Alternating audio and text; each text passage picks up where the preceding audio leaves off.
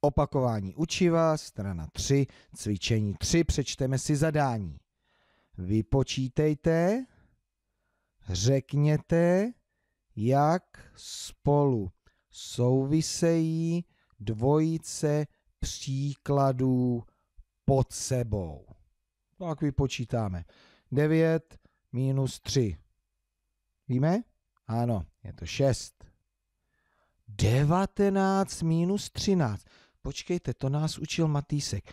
Já tam vidím také 9 minus 3, 6, ale tady je desítka a tady taky a 19 minus 13 je úplně stejně jako 9 minus 3. Výborně.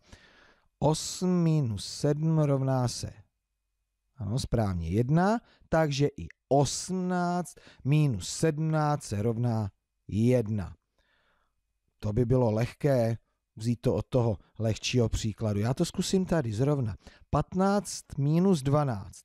Já tam vidím ten příklad 5 minus 2, takže 5 minus 2 rovná se 3 a 15 minus 12 také 3. Doplním. Tohle zkusíte sami, ale já vás vyzkouším.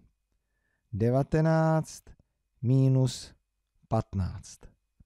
To tady není. Kdo to vypočítá? Už to někdo víte? Já si mezi tím změnil pastelku. Tak jak to uděláme? 19 tam je 9, minus 15 tam je 5, 9 minus 5 rovná se 4, desítka bez desítky, 19 minus 15 rovná se 4. Hm? To by se dalo použít, zkuste to taky.